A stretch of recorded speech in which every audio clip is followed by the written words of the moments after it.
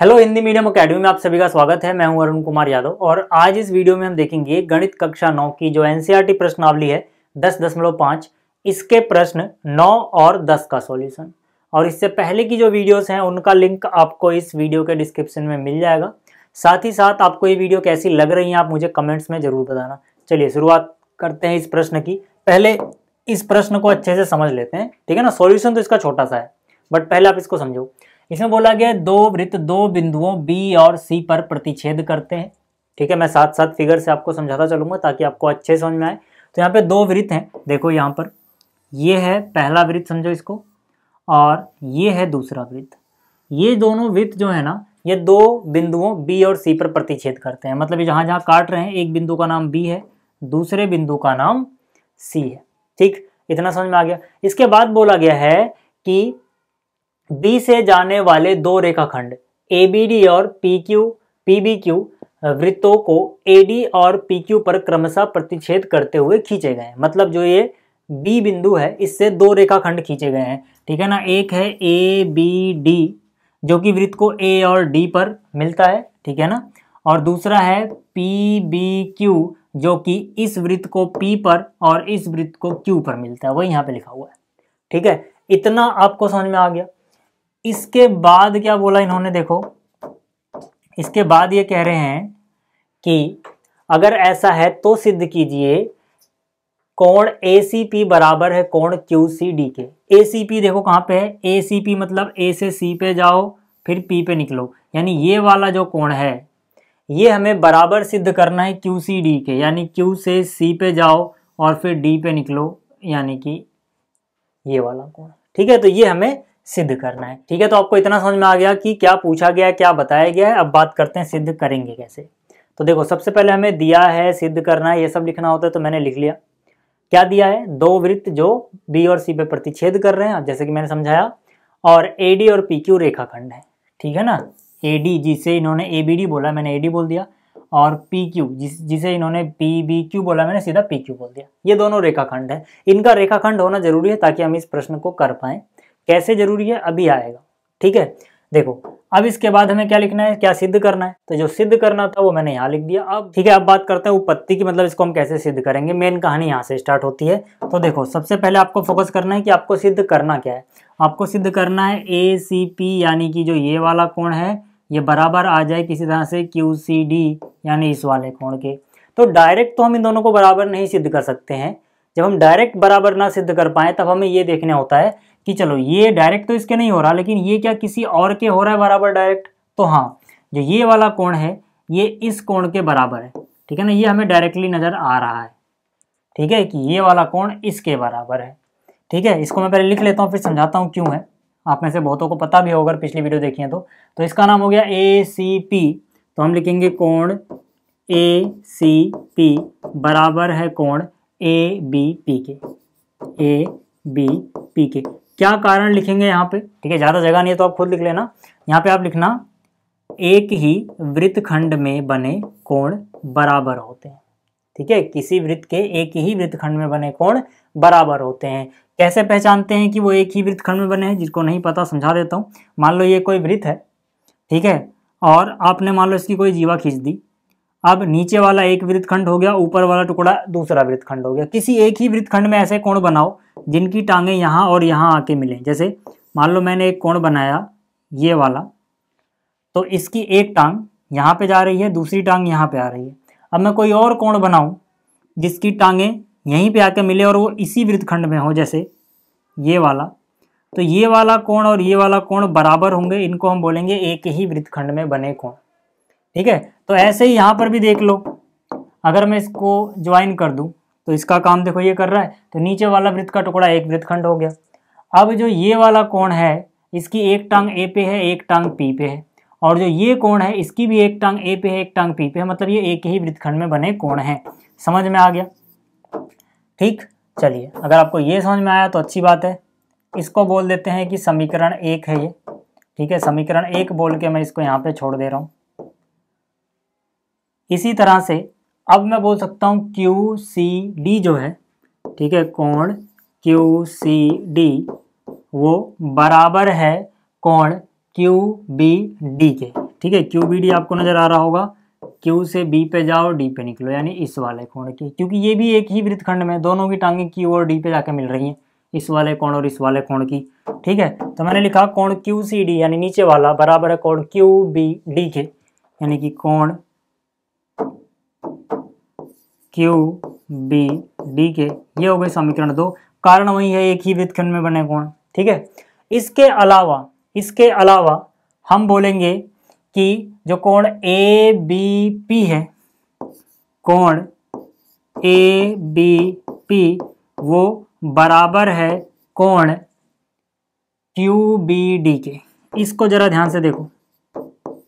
ये कैसे कोण है? इनको हम बोलेंगे ये शीर्षाभिमुख कोण है। ये कैसे कोण है? शीर्षाभिमुख। ठीक है? मैं किस कोण की बात कर रहा हूँ? मैं कह रहा हूँ ये वाला कोण इसके बराबर है। ठीक है? देखो, ये एक सीधा रेखाखंड है, ये भी एक सीधा रेखाखंड है। ठीक है? तो अगर ये सीधे सीधे रेखाखंड हैं तो ये शीर्षाभिमुख कोण हो जाएँगे। फिर से देखो, इसीलिए रेखाखंड दिया था। ये रेखाखंड है ये रेखाखंड है तो इनके आमने सामने के कोण बराबर होंगे ना, शीर्षाभिमुख कोण। तो एक का नाम है ए बी पी ये रहा। दूसरे का नाम है क्यू बी डी ये रहा, शीर्षाभिमुख कोण। ठीक है? इसको हम बोल देते हैं समीकरण तीन। इसको क्या बोल देते हैं? इसको बोल देते हैं समीकरण तीन। अब हम बोलेंगे एक, दो व तीन से। देखो, सवाल हो गया। मैं लिखूँगा एक, दो व तीन से। मतलब समीकरण एक, दो व तीन को देखना है। जरा देखो एक को। अपने को पता है कि जो ए बी पी है, वो किसके बराबर है? ए बी पी बराबर है ए सी पी के। तो मतलब जो ये ए बी पी है, इसकी जगह ए सी पी लिख सकता हूँ। यही ए बी पी यहाँ लिखा हुआ है। देख लो A B P A B P तो ए बी पी किसके बराबर? ए सी पी के। तो ए सी पी की, इसके नीचे लिख दिया ए सी पी बराबर। अब देखो, अपने को ए सी पी किसके बराबर लाना था? क्यू सी डी के। तो देखो यहाँ पर, जो क्यू बी डी है, जो कि यहाँ लिखा हुआ है Q B D Q B D ये क्यू बी डी किसके बराबर है? क्यू सी डी के। अगर Q B D Q C D के बराबर है तो इसकी जगह मैं ये लिख सकता हूँ। देखो क्यू बी डी ये रहा, इसकी जगह मैं लिख दिया क्यू सी डी जैसे ये लिखा, सिद्ध हो गया। यही तो हमें सिद्ध करना था। तो उम्मीद करता हूँ आपको ये प्रश्न समझ में आ गया होगा। आप देखते हैं अगला प्रश्न क्या है। अब देखो, जो अगला प्रश्न है, ये भी काफ़ी आसान सा प्रश्न है। आसानी से सॉल्व हो जाएगा। पहले इसको समझ लेते हैं। इसमें बोला गया यदि किसी त्रिभुज की दो भुजाओं को व्यास मानकर वृत्त खींचे जाएँ तो सिद्ध कीजिए कि इन वृत्तों का प्रतिच्छेद बिंदु तीसरी भुजा पर स्थित है। कहने का मतलब है, समझो अपने पास अगर कोई त्रिभुज है, अब इस त्रिभुज की किन्हीं दो भुजाओं को व्यास मानो और दो अलग अलग वृत्त खींचो, ठीक है? तो मैंने यहाँ पर इसको एक व्यास माना और एक वृत्त खींच दिया, ठीक है ना? ये भुजा जो त्रिभुज की थी, ये वृत्त के लिए समझो व्यास है। और इस तरह से इसको मैं व्यास मान के एक दूसरा वृत्त खींच दूँ, ये रेड वाला, ठीक है? तो जहाँ पर ये दोनों वृत्त प्रतिच्छेद कर रहे हैं, यानी कि ये जो बिंदु है, ये मुझे सिद्ध करना है कि ये इस त्रिभुज की तीसरी भुजा पर स्थित है। अगर मैं आपको नाम से समझाऊं तो समझो जो त्रिभुज है, उसका नाम है ए बी सी अब आपको ज़्यादा समझ में आएगा। जो ये त्रिभुज ए बी सी है, इसकी एक भुजा हो गई ए बी तो ए बी को व्यास मान के एक वृत्त खींचा गया। और इसी त्रिभुज की दूसरी भुजा हो गई ए सी इसको व्यास मान के ये लाल वाला वृत्त मान लो, खींचा गया दूसरा वृत्त। अब इन दोनों वृत्तों ने जहाँ पर एक दूसरे को प्रतिच्छेद किया, समझो उस बिंदु का नाम है डी तो हमें यह सिद्ध करना कि जो बिंदु डी है, ये इसकी तीसरी भुजा, यानी कि बीसी के ऊपर स्थित है। कहने का मतलब है, कैसे कर पाएँगे हम? देखो, अगर मैं बी डी सी को एक रेखाखंड दिखा दूँ, यानी कि बी डी सी एक ही रेखाखंड है अलग अलग नहीं है, जो बी सी है, वही बी डी सी है तो मतलब ये इसी के ऊपर आता है। कैसे करेंगे? उसकी बात करते हैं। उसके लिए हम क्या करेंगे? देखो, उसके लिए हम इन दोनों को मिला देंगे। किन दोनों को मिला देंगे? ए और डी को हम मिला देंगे। तो ए और डी को मैंने मिला दिया। तो सबसे पहले हमें लिखना होता है, हमें क्या दिया है? ठीक है, क्या सिद्ध करना है, क्या रचना करी? तो वो सब मैं लिख लेता हूँ ताकि आपका टाइम वेस्ट ना हो। तो देखो, मैंने यहाँ दिया है मैं लिख दिया जो हमें दिया था। हमें क्या दिया था? त्रिभुज ए बी सी की दो भुजाओं ए बी व ए सी को व्यास मानकर खींचे गए दो वृत्त। उसके बाद सिद्ध क्या करना है? सिद्ध करना है कि जो इनका प्रतिषेध बिंदु यानी कि डी वो भुजा बीसी के ऊपर स्थित है। यानी मैंने लिख दिया, हमें सिद्ध करना है डी बीसी पर स्थित है। हमने रचना करी थी ए को डी से मिलाया था तो मैंने रचना में लिख दिया ए को डी से मिलाया। ठीक? अब सिद्ध करना बहुत आसान है। कैसे? मैं बोलूँगा ए बी व्यास है। ठीक है, आपको इस पहले वृत्त में देखना है, इसमें ए बी क्या ए बी व्यास है। अगर ए बी व्यास है तो इसका क्या मतलब हुआ? इसका मतलब हो गया कि जो कोण है ए डी बी कोण? ए डी बी वो हो जाएगा 90 डिग्री। क्यों होगा? इसका कारण है अर्धवृत्त में बना कोण। अर्धवृत्त में बना कोण समकोण होता है, ठीक है ना? अर्धवृत्त में बना कोण। मैं इतना ही लिख के छोड़ दे रहा हूँ, आप चाहो तो इतना ही लिखो। नहीं तो पूरा लिख सकते हो, अर्धवृत्त में बना कोण समकोण होता है। क्या मतलब हुआ इसका? जिसको नहीं समझ में आता समझा देता हूँ। अगर अपने पास कोई वृत्त हो और मैं उसका कोई व्यास ले लूँ यहाँ पर तो अगर मैं व्यास के दोनों सिरों को किसी एक ही अर्धवृत्त में मिला दूँ तो जो कोण बनता है हमेशा वो नब्बे डिग्री का होता है। ठीक है ना? इसको हम बोलते हैं अर्धवृत्त में बना कोण। उसके लिए ज़रूरी है कि जहाँ पर इसकी टांगें मिल रही हैं, जैसे एक टांग इसकी यहाँ पर आई, दूसरी टांग इस कोण की यहाँ पे गई, ये व्यास के सिरे हों। ठीक है ना? तो यहाँ पर भी आप देख सकते हो यार, वही कहानी तो चल रही है। यहाँ पर ए बी जो है, वो व्यास ही तो है। ठीक है ना? तो अगर ए बी व्यास है तो मैंने जो ये कोण था पूरा, ठीक है, इसकी एक टंग देखो, व्यास का एक सिरा बी है, दूसरा ए है। तो मतलब ये अर्धवृत्त में बना कोण है, यानी कि ये 90 डिग्री का होगा, ए, डी, बी।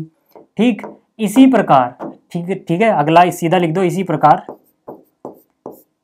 इसी प्रकार जो कोण है, ए, डी, सी, वो भी नब्बे होगा। अब इसके जैसा ही वो है तो उसमें सारे स्टेप नहीं करने। ठीक है ना भाई, उसमें भी तो ये व्यास है, ए, सी क्या है, व्यास है। तो अगर ए सी व्यास होगा तो फिर से ये जो कोण है, ये अर्धवृत्त में बना कोण हो जाएगा। क्योंकि देख लो आप ये व्यास का सिरा है ए और सी ठीक है तो इसी प्रकार लिख के आगे छोड़ दो, पूरा कारण नहीं लिखना इसमें। तो अगर मैं अगर मैं इसको बोल दूँ समीकरण एक, इसको बोलूँ समीकरण दो, और मैं एक व दो को जोड़ दूँ तो मुझे क्या मिलेगा? एक व दो को जोड़ने का मतलब है इनका लेफ़्ट वाला हिस्सा आपस में जोड़ दो। चलो, यहाँ से ए डी बी प्लस यहाँ से ए डी सी ये दोनों कोण मिल गए। बराबर कितना? राइट वाला राइट में जोड़ दो। राइट में नब्बे है राइट में नब्बे है, नब्बे नब्बे जोड़ा कितना आ गया? एक सौ अस्सी। ठीक है तो जैसे ही यहाँ पर देखो ये जोड़ के एक सौ अस्सी आया इन दोनों को। देखो ए डी बी कहाँ है? ए डी बी यानी ये वाला कोण और ए डी सी कहाँ है? ये वाला कोण। अगर इन दोनों को जोड़ के एक सौ अस्सी आ रहा है तो मतलब यार ये तो सीधी रेखा रही होगी ना, तभी तो रेखी क्यूब में बना रहे हैं। जोड़ के एक सौ अस्सी आना चाहिए। था।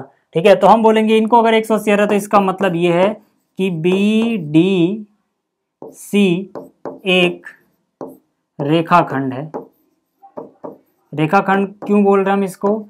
क्योंकि अगर ये रेखाखंड नहीं होता तो हो सकता है डी यहाँ पे आता तो ये ऐसे टेढ़ा होके जाता, तब रेखाखंड थोड़ी बनता। लेकिन क्योंकि ये कोण जोड़ के 180 आ गए दोनों तो मतलब ये बिल्कुल सीधा ही है, यानी जो डी है वो इसी के ऊपर स्थित है। ठीक तो इसका मतलब क्या? इसका मतलब जो डी है डी है वो सी पर स्थित है।